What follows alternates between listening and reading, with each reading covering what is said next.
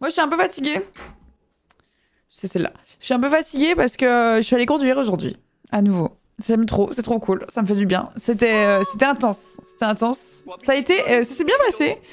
Autoroute non. Mais euh, je suis quand même montée à 100, hein. J'ai stressé, hein, ma vie. Alors, j'ai appris que mon, que mon formateur euh, regardait mes lives. Du coup, euh, il est super. Sachez-le. il est top.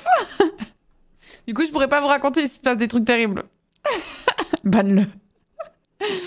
Euh, non, en vrai, c'est cool. euh, C'est cool. C'est juste, ça m'épuise, quoi.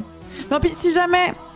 Si jamais. euh, Jones, si, jamais, dire tout le temps. si Je dirais jamais tout le il passe et qu'il y a un problème, on peut faire ça.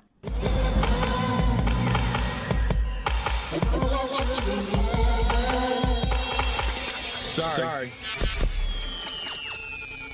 Si jamais ça va. C'est bon. Moi, je pense. Clairement, je suis pas prête à rouler toute seule. Mais si un jour il y avait une urgence ou un problème, et que je devais prendre la voiture actuellement, je pourrais survivre. C'est déjà ça. Ça finira descend sur des circuits. Ah, je suis chaud. Là, je, suis passée de je ne survivrai pas à je pourrais survivre. Donc c'est déjà beaucoup. Ça veut pas dire que je sais bien conduire.